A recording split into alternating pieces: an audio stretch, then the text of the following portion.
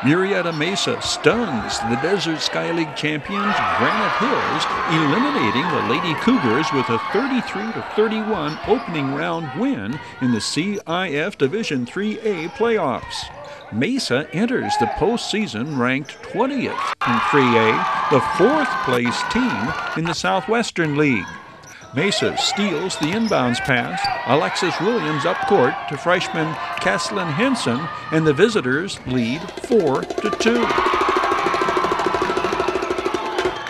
Granite Hills, 6'3 junior Relani Bell ties it at 4.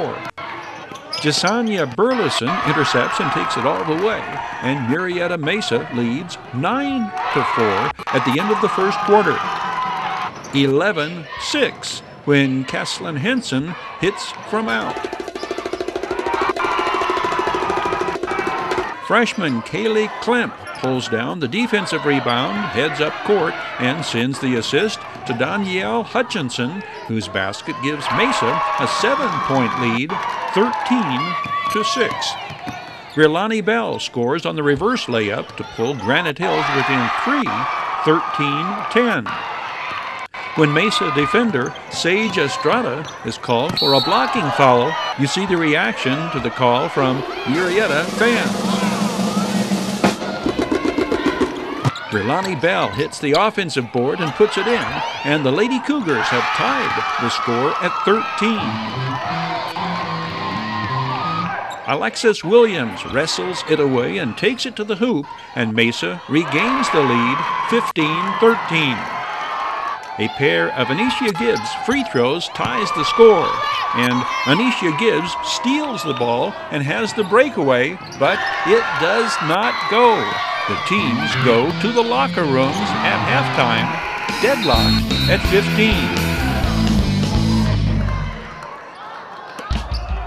Six foot senior Emily Stallo blocks the shot, and Kesslin Henson takes it all the way to give Mesa a 20 to 16 lead three minutes into the second half.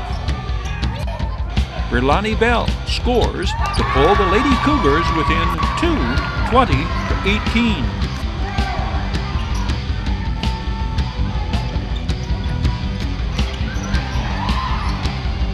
Mesa's tenacious defense again pays dividends when Kesslin Henson makes the steal and scores on the breakaway. 22-18 Murrieta. Kesslin Henson runs down the long rebound and takes it down, knocks it in off the glass, and the Mesa lead is 6 24 18. The visitors are up by 4 24 to 20 to begin the fourth quarter. Anisha Gibbs' first field goal of the second half comes one minute into the fourth quarter. Granite Hills is back within two, 24 to 22. A pair of Anisha Gibbs free throws ties the score at 24 with six minutes showing on the fourth quarter clock. Anisha Gibbs drives and scores with the left hand, and Granite Hills retakes the lead 26-24.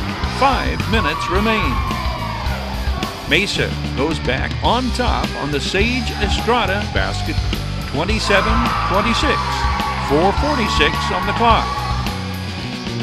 Kesslin Henson from just inside the arc, 29-26.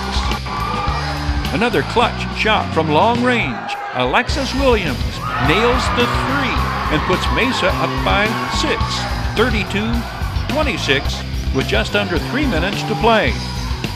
Anisha Gibbs' lone three-pointer of her final game brings Granite Hills within three, 32-29. Rilani Bell's putback has the Lady Cougars within two with 15 seconds remaining. Murrieta Mesa holds on and escapes Apple Valley with the 33 31 upset victory. I 15 Auctions, sold on supporting high school sports. I 15 Auctions, everything from estate auctions to high quality, low priced vehicles.